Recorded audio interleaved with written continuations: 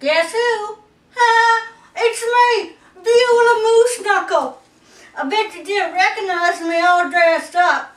I'm dressed up because I got a very important episode today. We're going to do something that's a little bit sensitive.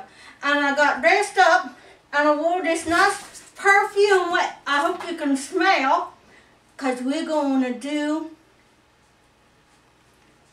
testicular examination. It's a little bit sensitive and you want to make sure when you go to the show that your dog not afraid to have the testicular examination. So I got myself a doggy of the testicular variety. Here we go, doggy. What you want to do is make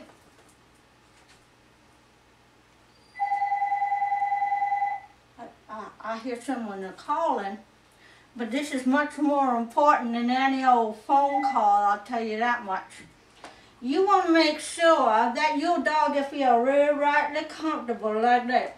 I'm pet, see how comfy? He doing a nice big stretch. Now I'm going to have to get him to stand on up again. Come on there, doggy.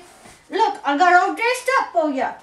You touching the doggy, you can put a knee against it somehow. Times I like to do that, making sure he's nice and happy. And then touch it just for a little second. Don't touch it like you like it. Just touch it real quick.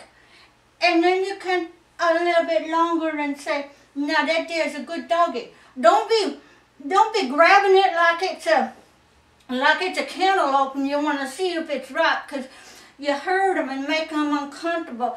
You just you just swipe them. It's just like taking a card from Walmart on your your Interac. You just swipe it like that.